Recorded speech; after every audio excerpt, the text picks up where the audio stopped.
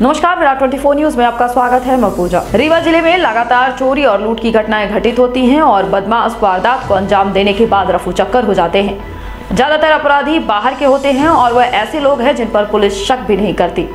इन्हीं में से कुछ ऐसे हैं जो अवैध रूप से डेरा जमा कर शहर में निवास कर रहे हैं। जिनका ना तो कोई परिचय, आधार कार्ड होता है और ना ही पुलिस में कोई रिकॉर्ड।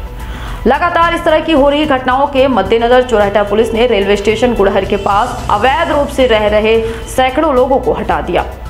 अवैध रूप से रह रहे सैकड़ों लोगों को लेकर मौलिक अधिकार पार्टी के ठेकेदार कलेक्टर कार्यालय पहुँच गए। उन्होंने मांग की है कि हटाए गए लोगों को सात दिन के अंदर उनके निवास की व्यवस्था की जाए। प्रशासन अगर ऐसा नहीं करती तो कलेक्ट्रेट के सामने धरना प्रदर्शन और आत्महत्या करेंगे। आपको बता दें कि लगातार ज़िले में बाहर से आने वाले लोग अवैध रूप से झुग्गी झोपड़ी बनाकर रहते हैं और बड़ी वारदातों को अंजाम देकर रफू चक्कर हो जाते हैं, जिन्हें पुलिस तलाशती रह जाती है। लेकिन ऐसे लोगों के बचाव में भी राजनीतिक रोटी सेकने के लिए कुछ लोग आकर धरना प्रदर्शन शुरू कर देते हैं। आइए आपको सुनाते हैं कलेक्टर कार्यालय पहुँचे लोगों ने क्या कहा है। मैं कलेक्ट्रेट आया हूँ, बड़े दुखद समय में आया हूँ। आज भारत देश को चौहत्तर वर्ष आज़ाद हुए हो गया। किंतु ये है आज़ादी। आप देख सकते हैं कि भारत देश के संविधान में उनतालीस खा में स्पष्ट उल्लेख है कि जो भी भारत देश की प्राकृतिक संपदा है, उसमें सबका समान अधिकार हो।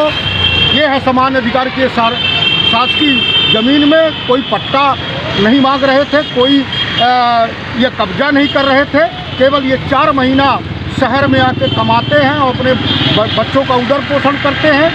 इनको बिना किसी सूचना के ये भारतीय संविधान का उल्लंघन करते हुए यहाँ की पुलिस आ, कुछ भ्रष्ट लोगों से पैसा लेके और इनको इनके साथ ज़्यादाती करके भगाया है।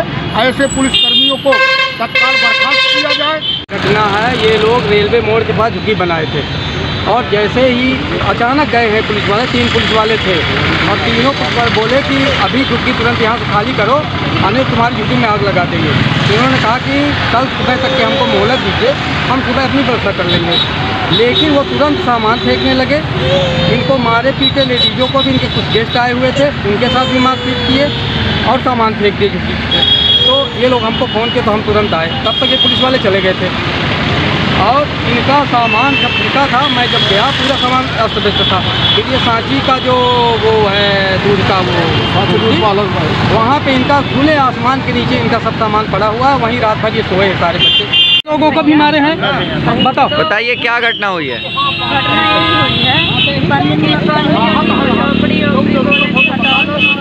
बोले कि दो घंटा समय दे दो सर बोले कि हम नहीं देंगे हर झोपड़ी कौन लोग मारपीट के हैं? पुलिस वाले। पुलिस वाले मारपीट के हैं। किस कारण से? किस कारण से बोले कि घर से झोपड़ी उपड़ी सब उठा ले जाओ। हम लोग बोले कि दो घंटा समय दे दो सर। हम लोग मड़ाई उड़ाई ले जा रहे हैं। पैसा कुछ नहीं दिए हैं हमारे लोग अभी आज कलेक्ट्रेट आई हैं आप क्या चाहती हैं? हम ये चाहते हैं कि मतलब कहा कि हमको लोगों को कुछ चाहिए। रहने की व्यवस्था चाहिए ना आप लोगों को? वो बोलिए। रहने के लिए व्यवस्था। नाम बता दीजिए। नाम गीता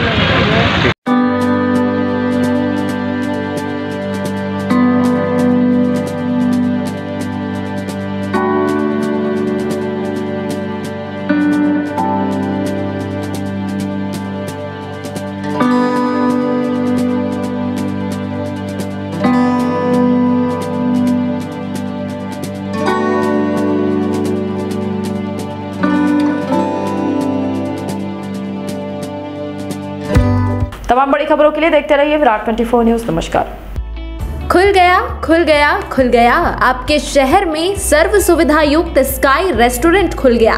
वेज नॉन वेज भोजन का लुत्फ उठाने के लिए अवश्य पधारे। हमारे यहाँ स्काई स्पेशल थाली के साथ जन्मदिन, तिलक। एंगेजमेंट रिसेप्शन के लिए हॉल उपलब्ध है। ऑनलाइन ऑर्डर के लिए संपर्क करें nine zero three nine zero double three double six one पर। पता याद रखें स्काई रेस्टोरेंट विश्वविद्यालय रोड लोटस टावर खुटे ही, रीवा।